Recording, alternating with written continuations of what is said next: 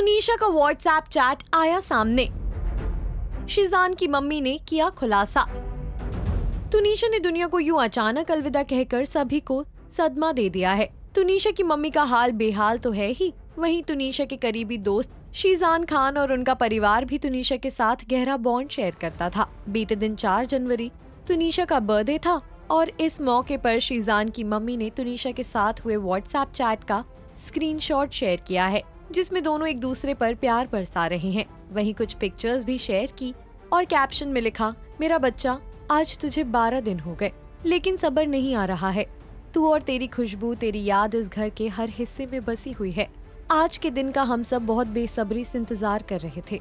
हम तुझे इस बार वैसा ही बर्थडे सरप्राइज़ देना चाहते थे जैसा तूने अपने डैडी के साथ मनाया था, जिस बर्थडे को तुम मिस करती थी। जाने से पहले उस दिन तूने मुझे इतनी बार सॉरी क्यों बोला?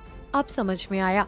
और हाँ मैं यानी तेरी अम्मा और तेरी अप्पी हमेशा तेरे लिए खड़े हैं। मेरा बच्चा, मुझे सुकून है इस बात का कि जितने टाइम तू हमारे साथ रही, हम तुझे वो प्यार और वो सुकून खुशी दे सके जो तू डिजर्व करती थी।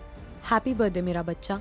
शीजान की मम्मी के इस पोस्ट से मालूम होता है कि तुनिशा के चले जाने से उन्हें बहुत दुख हुआ है, जबकि तुनिशा की मम्मी ने शीजान और उनके परिवार पर कई सारे इल्ज़ाम लगाए हैं। क्या कहना है आपका इस खबर को लेकर? बताइए हमें कमेंट सेक्शन में और ऐसी ही ताज़ा तरीन खबरों के लिए देखते रहें टेली मसाला।